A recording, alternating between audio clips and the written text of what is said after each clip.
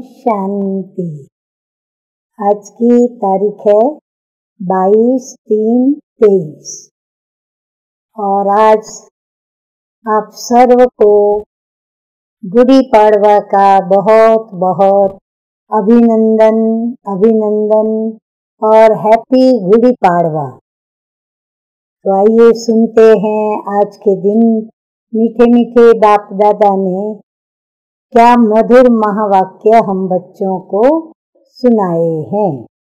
तो मीठे मीठे बाप दादा बोले, मीठे बच्चे, देही अभिमानी हो रहना। यही बड़ी मंजिल है। देही अभिमानी को ही ईश्वरीय संप्रदाय कहेंगे।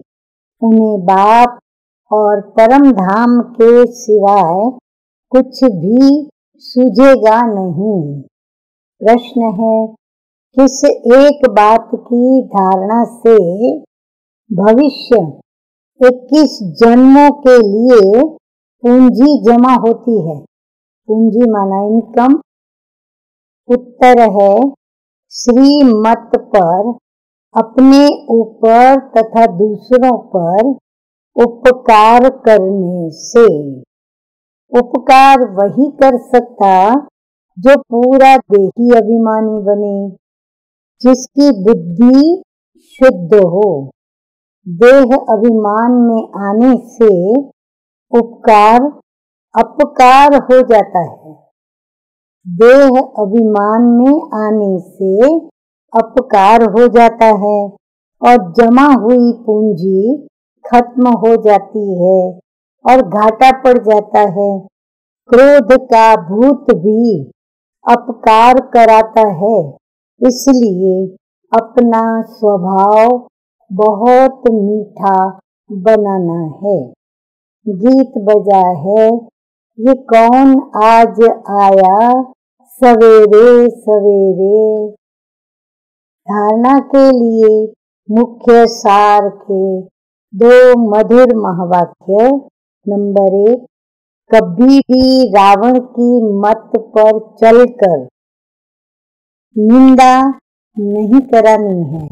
श्रीमत पर अपना तथा सर्व का, सर्व के ऊपर उपकार करना है।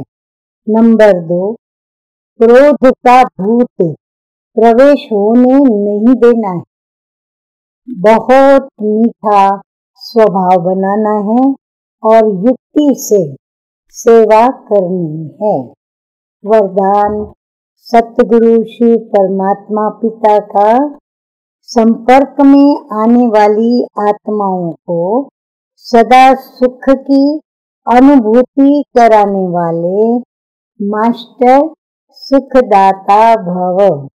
मीठे मीठे बाप दादा कहते हैं कि आप सुखदाता के बच्चे, मास्टर सुखदाता हो।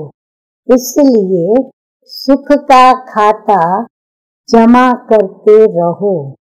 सिर्फ़ ये चेक नहीं करो कि आज सारे दिन में किसी को दुख तो नहीं दिया, लेकिन चेक करो कि सुख कितनों को दिया। जो भी संपर्क में आए, आप मास्टर सुखदाता द्वारा हर कदम में सुख की अनुभूति करे, ऐसा दिव्य अलौकिक कर्म किया। इसको कहा जाता है दिव्यता व अलौकिकता। हर समय स्मृति रहे कि इस एक जन्म में 21 जन्मों का खाता जमा करना है। स्लोगन है, एक बाप को अपना संसार बना लो तो अविनाशी प्राप्तियाँ होती रहेंगी। अच्छा मीठे मीठे सिकिल दे बच्चों प्रति माता पिता बाप दादा का याद प्यार और गुड मॉर्निंग। रूहानी बाप की रूहानी बच्चों को नमस्ते। हम रूहानी बच्चों का रूहानी बाप दादा को याद प्यार गुड मॉर्निंग और नमस्ते नमस्ते। ओम शांति।